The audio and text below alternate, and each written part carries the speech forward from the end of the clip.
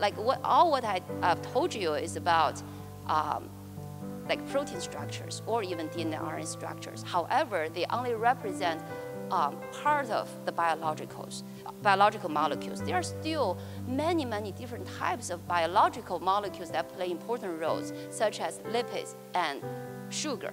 We only have very limited understanding of them. It is almost impossible to solve stru their structures. Why? Because they are flexible. And more importantly, we even don't know what we're looking for. That's why I borrowed the concept dark matter, meaning that they are molecules that are unknown to biologists. My lab recently came up with a strategy which we named CryoSeek. We actually got just several liters of water from the famous Tsinghua Lotus Pond and we concentrate the water and, uh, well, of course, after very rough filtration, and then we'll place that under microscope. And we observed many different stuff. stuff.